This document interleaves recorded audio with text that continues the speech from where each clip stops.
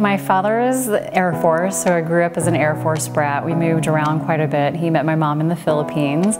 Spent most of my time in Oklahoma. I started in kindergarten in Oklahoma. My father went back to get his accounting degree, so that really inspired me to go into accounting. With that, went off to college in Missouri and actually lived in St. Louis, Missouri for a long time before I moved to Las Vegas about seven years ago to start at the Cosmopolitan. Started as the VP Chief Internal Auditor and then moved over into the CFO position. As the CFO, there, my my day is never the same, so which is one of the things I really enjoy about the job. So a lot of things related to obviously finances and also the strategy of the organization. We are owned by Blackstone, which is a private equity firm, which makes life very interesting from being able to go through the renovations and really turn the property around from where we were five years ago. Definitely enjoy my time. Never thought that this Asian girl from Oklahoma would be the CFO of a billion dollar company on the Las Vegas Strip, which is amazing for me and looking forward to that next chapter of my life. My wife Chelle is the most dedicated and driven person I know. Whatever she does, work, being a mom, even putting a thousand piece puzzle together, you always get her best. Our favorite qualities are how caring and thoughtful she is. We are so proud of you and congratulations on your big award. Love you. My passion's definitely women and children and those that are less fortunate. I've actually have the opportunity to serve on the board and audit committee for SafeNest.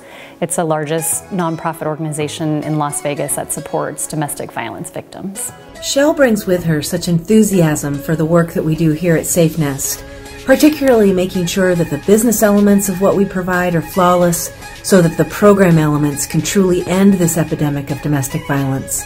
Thank you, Chelle, for everything that you give. What it means to be Asian American, it's amazing. It took me actually a very long time to embrace my Filipino heritage, something that growing up in Oklahoma, my brother and I were only one of a handful of Asian biracial children growing up in the school. And as a child, you never want to be different.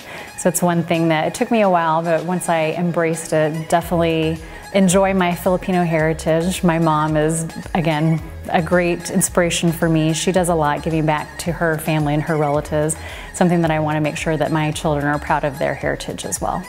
Hi mom, congrats on being nominated for this amazing award. You deserve it so much. You're an inspiration to me and everyone around you. You're such a hardworking and amazing person, mother, wife. Um, I love you. I still don't know what I want to do when I grow up, so it's something that I'm still exploring. Definitely looking for ways to give back to the community, help the, a lot of the women and children that are out there. Want to make a couple of those trips back to the Philippines with my mom. She goes every year, so that's one thing that I want to do to go back and visit my family as well, and we'll see where life takes me from there. Congratulations on this honor, Chelle. I nominated you because I've always admired your leadership, um, you've shown me that you can be a successful woman in the C-suite, um, determined, motivated, and yet not lose your approachability and your kindness and just being genuine. Um, thank you for your mentorship and your leadership. I know there are other women who feel the same way as I do. For me, it's you know, be who you are, embrace yourself, embrace your background and your diversity. That's one thing that, again, it took me a while to embrace that.